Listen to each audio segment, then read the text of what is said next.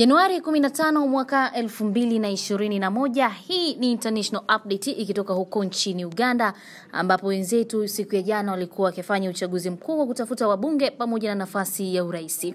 Sasa muda mfupi uliopita, uh, tume ya uchaguzi nchini Uganda ilitangaza matokeo na kuonyesha kwamba kwa matokeo ya awali ambayo yamehesabiwa uh, kwa takriban vituo 300 yanamwonyesha Rais Yoweri Museveni akiongoza katika matokeo hayo. Sasa hivi punde mgombea wa upinzani nchini Uganda Bobi Wine amepinga matokeo ya uchaguzi ambayo yametangazwa hadi sasa na kujitaja binafsi kama rais mteule. Licha ya tume ya uchaguzi kusema kuwa siyo matokeo rasmi, lakini Bobi Wine ameshakwisha kupinga matokeo hayo ya kura zilizohesabiwa.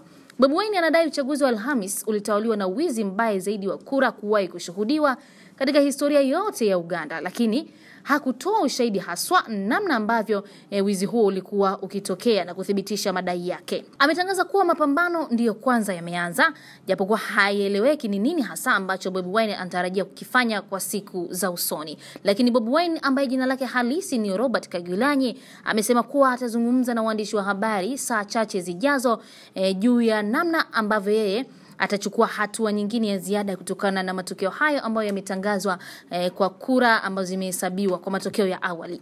Matokeo ya awali yaliyotolewa na tume ya uchaguzi yanaonyesha kwamba Rais Yoweri Museveni ambaye anagombea kwa muhula wa sita anaongoza kwa zaidi ya asilimia sitini eh, huku mpinzani um, wake Robert Kyagulanyi akiwa nyuma kidogo kwa kuwa na kura uh, zaidi ya asilimia ishirini. Wanajeshi wamezingira nyumba ya Bobi Wine mpaka hivi sasa E, lakini hali ya usalama bado imetawala nchini Uganda. Nikusihi sana kwa update mbalimbali, endelea kuwa karibu na Global TV Online kwenye mitandao ya kijamii Facebook na Instagram, tupata kama Global Publishers. Kwenye upande wa Twitter sisi ni Global Habari. Mimi ni Kisa Daniel.